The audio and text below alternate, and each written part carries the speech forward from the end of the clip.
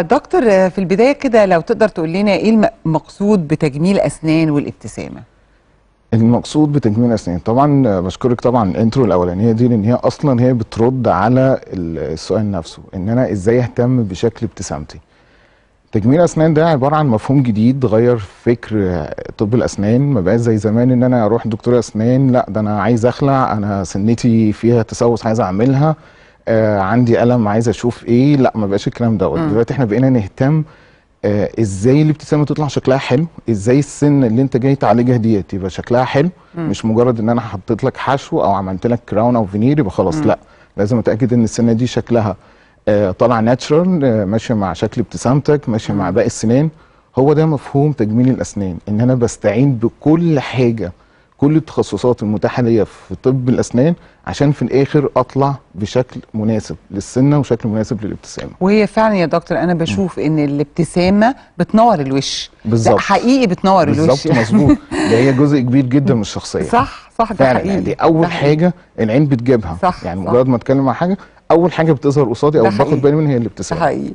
طب دكتور الطفرة اللي حصلت في عالم تجميل الاسنان والوجه والفكين كلمنا عنها شوية. آه دلوقتي يعني إحنا الحمد لله في تطور هائل جدا. آه التطور بقى pointed قوي في التشخيص. أول حاجة عندي مم. طرق التشخيص ما بقتش زي زمان. إن أنا والله رحت الدكتور أسنان فدكتور أنا عندي الم آه ببص لأ ده تسوس طب هنحشي وحضرتك تمشي. لأ دلوقتي بقينا طريقة التشخيص بقت اختلفت. بقى في تكنولوجيا عالية. بقى في softwares بقى بنستخدم كمبيوتر بنستخدم أشعة 3D تمام؟ كل دوت عشان نبتدي زي كده. يعني مم. مثلا software بتتعرض عليا السنان بالشكل دوت قبل قبل ما حضرتك اعمل لك اي حاجة قبل ما المسك. لازم أشوف على الكمبيوتر. أنا قدام لو عملت لك ال design دوت هتبقى النتيجة إيه؟ هتبقى نتيجة حالتك إيه؟ مم. هيبقى طريقة العلاج بتاعتي صح ولا لأ؟ زي مثلا الحالة ديت. جات لنا مثلا على الشمال. ده ال- اللي هي قبل ما نشتغل. بال before. عشان نوصل لل after دوت صعب إن إحنا نوصل لكده غير لما نشخصها كاملا. نشوف الوش نشوف لون العينين نشوف لون البشرة نشوف لون الشعر نشوف ال ال الخدود ال السكين عندها لونه إيه ده كمان إيه يا دكتور ده بالظبط زي هنا برضو هو ده زي ما قلنا ال- التجميل هو يعني أكتر من حاجة بنستخدمها عشان نوصل ومتهيألي بالمنظر ده. العلم في, في في طب الأسنان سهل عليكم قوي كمان يا جدا دكتور ما هو ده التطور يعني يعني ده هو ده التطور التطور. يعني مخلي. فعلا إن أنت ممكن توصل لنتائج غير طبيعية بالظبط ما بقيناش زي زمان اللي آه. هو إن إحنا بنتعامل مع يعني آه زي حالة زي دي برضو. دي عملت إيه ولا إيه يا دكتور ده, يعني بص يا حضرتك مثلا دي حالات الحالات اللي أنا بحبها. آه. لازم نعرف سنها كام وعايزة توصل لإيه. مم. مش معنى إن هي دخلت عندي هتطلع في الناحية اليمين زي ما إحنا شايفين كده بسرعة. لا. مم. لا طبعا. بنصور بنصور أشعة 3 دي وبنصور وبناخد صور قبل ما نشتغل ونلمسها على الكمبيوتر عشان نشوف نتوقع النتيجة النهائية دي قبل ما نلمسها. ودي مش ونت- شخص واحد ومش يعني بس كده يا دكتور نتيجة طبيعية بالظبط مش ما أنت ممكن هي- ترص الاسنان وتطلع شكلها غريب في الآخر برافو هو ده اللي أنا آه. عايز اوصله آه. لك إن دلوقتي هو ده الطب أو التجميل الأسنان إن أنا عايز ال patient أو العميل لما يمشي من عندي يبقى طبيعي أنا مش عامل يعني. حاجة آه أنا أنا شكل أسناني حلو ابتسامتي حلوة بدون أي تدخلات يعني وده حصل إيه هنا يا دكتور هنا؟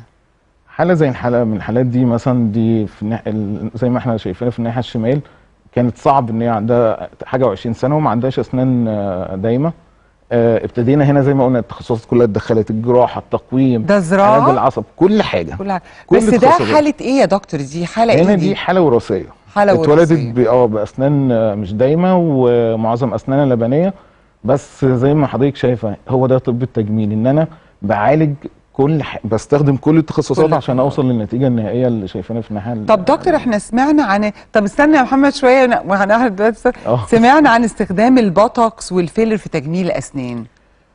آه زي إيه ما قلنا بقى في؟ تطور هايل عندنا دلوقتي في مجال الأسنان بقينا نستعين بكل حاجة كل حاجة التخصصات الطبية دي حاجة جديدة عليا جدا. أنا عايزه هو ده اللي أنا عايز أوصله. لحضرتك؟ تجميل الابتسامة.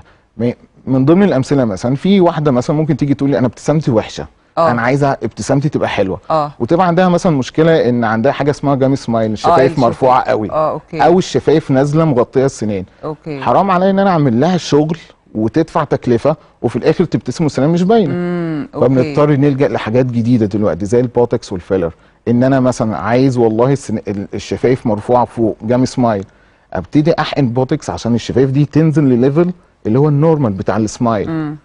والله شفايفها آه، رفيعة. أبتدي أستخدم معاها الفيلر عشان أديها رسمة شفايف تكون طبيعية. زي دي ولا دي ال- ال- دي برضو من ال gummy الحاجات غامقه اللي بتبقى؟ الحاجات الجديدة ابتدينا نستخدمها زي الليزر.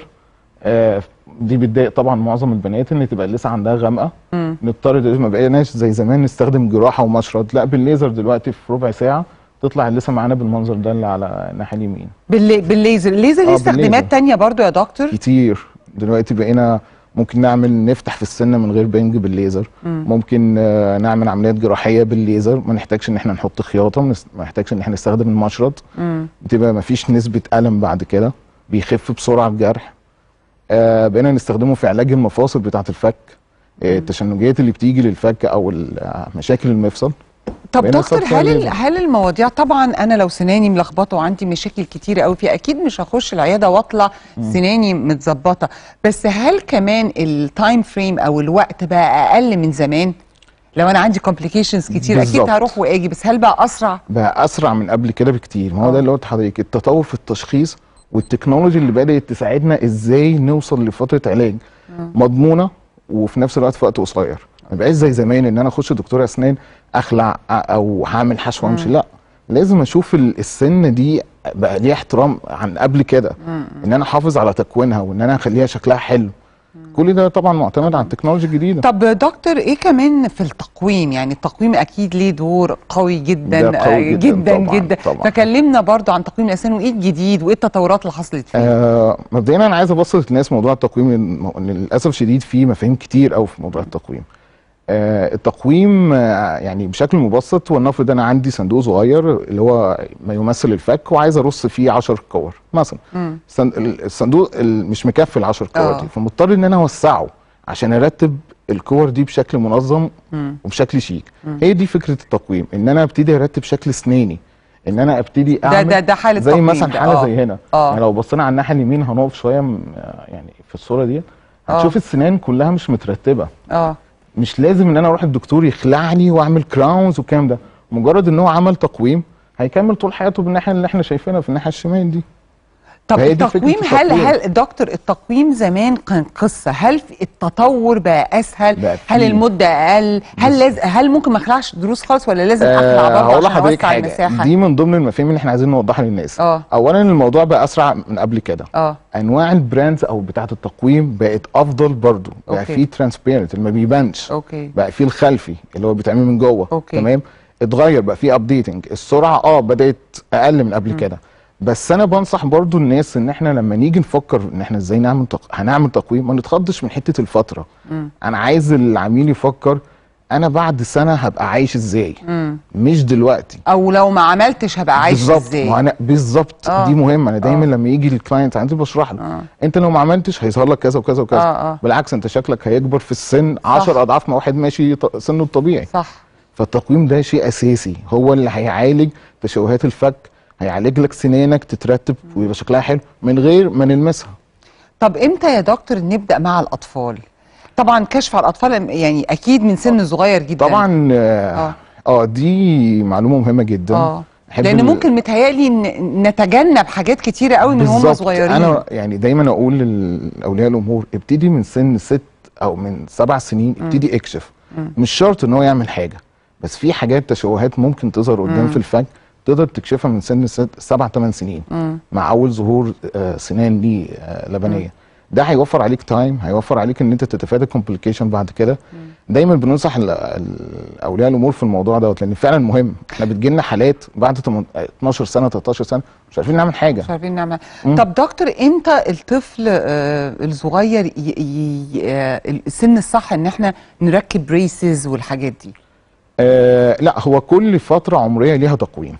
يعني مثلا يعني لو قلنا بداية من الأطفال يعني هل مثلا واحد ست. سنين يقدر ما ينفعش؟ لا بس آه. آه. ممكن من سبع سنين نبتدي. تقويم. تقويم ولا لا حاجات ممكن يبقى؟ تقويم آه. للعظم. أنا شايف والله اتجاه النمو الفكي بتاعه مش حلو. آه أوكي. في مشكلة مثلا بتجيلنا كتير للأسف شديد الناس ما بتاخدش بالها. إن الطفل طول الوقت حاطط صوابعه في بقه. آه ده حقيقي. دي آه. كارثة. عدى 3 4 سنين. كارثة. بيعمل إيه؟ بيغير الفك؟ الفك كله أخد شكل الصباع. ده الفك مش السنان بس. بالظبط السنان والفك. طب ودول الحالات دي بتعملوا إيه؟ طب هتقول له طبعا آه لا ده إيه؟ لازم يتعالج يعني أيوة، امبارح قبل إيه النهارده. طيب؟ بالظبط. لا لازم تقعد مع الدكتور لازم دلوقتي في لازم تقعد مع دكتور التقويم بيخش فيها دكتور نفسي برضه بيعالج. بيشوف الطفل ليه بيحط كده. آه. ممكن بيحطها خوف آه. آه خايف من باباه ومامته. آه. حاسس إن هو بيهدى بينام عن لما أوكي. بيعمل كده. كل ده لازم دكتور التقويم يشوفها. أوكي لأن دي بعد كده بتعمل مشاكل كبيرة جدا يعني تشوهات. في الوش وفي الفك كبيرة